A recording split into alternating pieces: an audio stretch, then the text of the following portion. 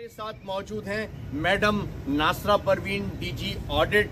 ये अपनी फैमिली के साथ कराची चिड़ियाघर का विज़िट करने आई थी, अपने बच्चों को चिड़ियाघर दिखाने आई थी।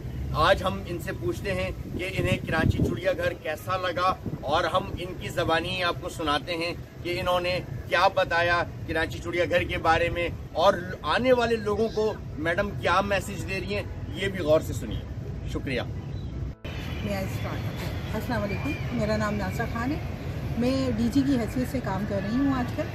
यहाँ पे मैं अपने बच्चे को जू दिखाने के लिए लाई थी क्योंकि स्कूल की तरफ़ से इंस्ट्रक्शन थी and I am surprise and I am you know very happy because मैं अपने बचपन में आई थी। उसके बाद से मुझे अंदाज़ा नहीं था कि चीज़ें अभी भी आपने काफ़ी सही रखी हुई हैं। सफ़ाई ठीक है स्टाफ अच्छा है। ख़ासतौर पर ये गार्डन तो काफ़ी मेनटेन किया हुआ है। एनिमल्स थोड़े से कम हैं, लेकिन मुझे पता है कि यहाँ पे कोई प्रैक्टिकल प्रॉब्लम्स हैं। यहाँ एनिमल परचेज़ नहीं होते, बल्कि गिफ्ट किए जाते बट इवन देन बाकी जो मैंने जू देखे हैं उनके मुकाबले में, ये बेहतर है, साफ़ है।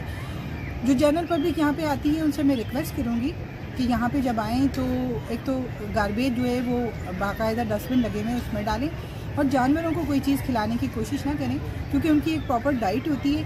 अब अगर वो किसी दूसरी डाइट की तरफ़ स्विच करते हैं तो उनके बीमार होने का अंदेशा होता है। थैंक यू वेरी मच सारी मैनेजमेंट इस जू की को मैं अपनी तरफ़ से शुक्रिया अदा करती हूँ।